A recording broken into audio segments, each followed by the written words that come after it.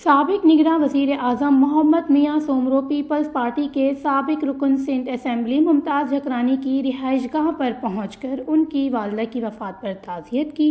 और सियासी मुलाकात की। इस मौके पर मुमताज़ झकरानी ने कौमी असम्बली के हल्का एक सौ नब्बे के आज़ाद उम्मीदवार सरदार मोहम्मद मियाँ सोमरो के पैनल में शामिल होकर आज़ाद तौर पर इंतबात लड़ने का ऐलान किया। मुमताज़ झकरानी का कहना था कि मोहम्मद मियाँ सोमरो के पैनल में बाबा तौर शामिल हुआ हूँ। कौमी और तीन सूबाई हल्कों पर मुश्तर इलेक्शन महम जारी रखेंगे। सर सरदार मोहम्मद मियाँ सोमरो ने बताया, मुमताज़ जकरानी पैनल में शामिल हुए हैं। मजीद सरप्राइज़ आएँगे। इस मौके पर सूबाई हल्का पी एस तरीके आज़ाद उम्मीदवार सखी अब्दुल रज्जाक कोसा मुमताज़ जकरानी के हक में दस्तकदार हो गए। वश न्यूज़ जैकोबाद